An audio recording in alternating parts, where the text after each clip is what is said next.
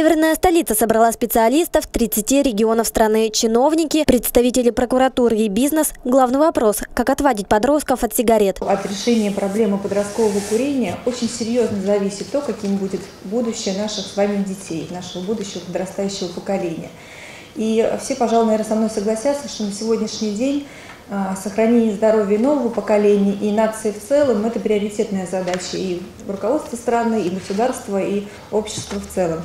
Табачном дыму гробят здоровье череповецкие дети. Если исходить из данных исследований, то курить начинают уже в десятилетнем возрасте. А первый опыт пробы сигарет и того раньше, в 7 лет. Сейчас в Череповце курят примерно 16% подростков. Норма – до 10 сигарет в день. Рецептов от табачной зависимости нет. Но сидеть сложа руки тоже нельзя. Мы Организуем э, встречи с трудовыми коллективами.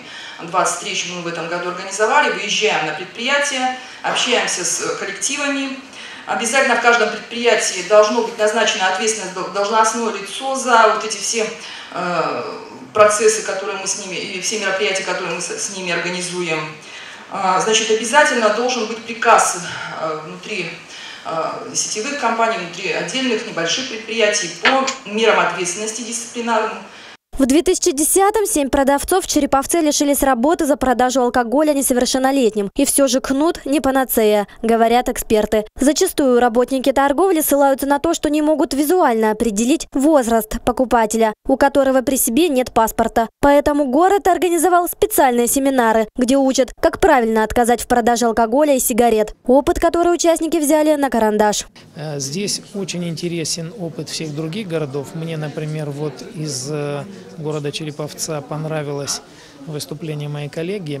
Вот ее идея о том, что они подписывают соглашение с торговыми организациями, я думаю, что мы ее попытаемся внедрить у себя.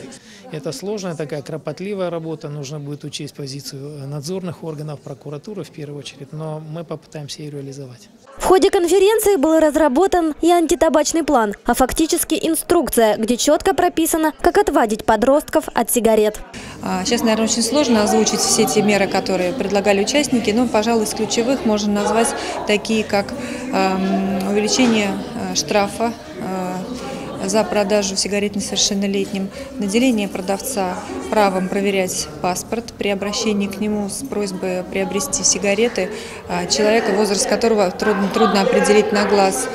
Это и внедрение в практику работы предприятий торговли образовательных программ. А еще, говорят эксперты, табачная эпидемия как раз тот случай, когда дурной пример заразителен. Пройдет никотиновая мода среди взрослых, и дети к сигаретам не потянутся. Ирина Климова, Сергей Меньшаков, Информагентство «Череповец».